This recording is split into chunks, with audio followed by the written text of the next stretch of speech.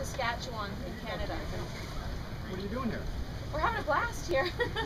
uh, we've been cooking all day and all most of last night. We're doing pork butt, um, uh, pork ribs, beef brisket, chicken. We're doing uh, home cooking from the homeland. We turned in a seafood chowder, and for dessert, we're doing a chocolate cheesecake. What's your strength? Rob. Rob is definitely our strength. Yes. Um, Rob's a great cook. He's going to turn in some phenomenal today. Okay. And what do you expect to do best?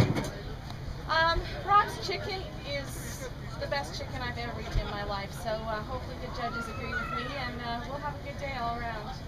And, and what's this gentleman over here doing? He's sampling, sampling our product to the public, and uh, by the looks of the How, how many times have you guys competed here? This is our first competition at the Canada. And how many competitions do you guys do in a year? Um, Rob will probably do 12 competitions during the year, but um, Rob is the Canadian champion. Rob won the Canadian National Championship in uh, um, August in Whistler, and um, he's the top-rated Canadian cook.